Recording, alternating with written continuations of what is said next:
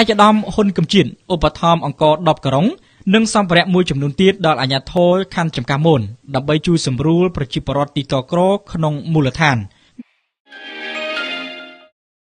នៅព្រឹកថ្ងៃទី23ខែកក្កដាឆ្នាំ2020នេះក្រុមការងារឯកឧត្តមហ៊ុនកំជៀនបាននាំយកអំណោយមួយចំនួនមកចូលរួមដល់សាលាខណ្ឌចំការមូលទុកចែករំលែកជូនដល់ប្រជាពលរដ្ឋទីតក្រក្នុងមូលដ្ឋានដើម្បីជួយសម្រួលការលំបាកមួយចំនួនរបស់ពួកគាត់ ជាមួយគ្នានោះផងដែរក្រុមការងារឯកឧត្តមក៏បានឲ្យដឹងដែរថា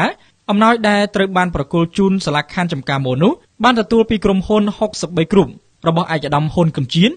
មានអង្គ10ការុងស្មើនឹង500គីឡូក្រាមរួមនឹងសម្ភារៈមួយចំនួនទៀតផងដែរដែលជានិច្ចការឯកឧត្តមតែងតែយកចិត្តទុកដាក់យ៉ាងខ្លាំងចំពោះជនរងគ្រោះទីតក្រ និងជនដែលងាយរងគ្រោះ